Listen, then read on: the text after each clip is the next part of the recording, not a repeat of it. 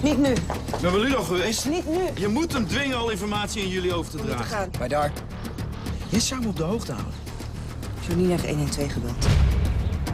Oké. Bij daar. Kom op, we gaan. Laat me mijn werk doen, alsjeblieft. Ga naar huis.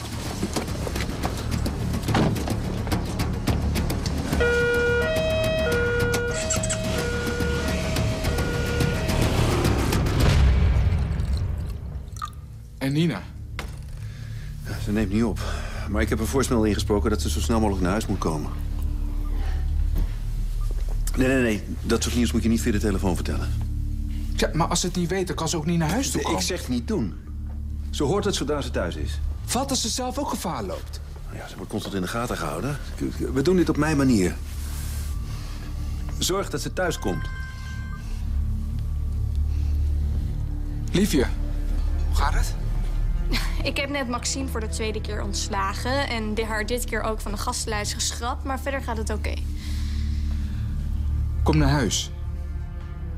Luister je eigenlijk wel? Ja, ik, ik, ik luister, maar ik heb liever dat je nu naar huis toe komt. Nee. Ik heb zo'n borrel van Sascha en ze zei dat het belangrijk was en ik kan wel een borrel gebruiken nu. Oh, daar zijn ze al. Liefje. Nee, doeg. Liefje, wacht.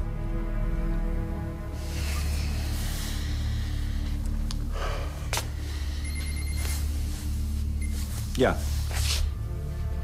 Hoezo consternatie? Waarheen?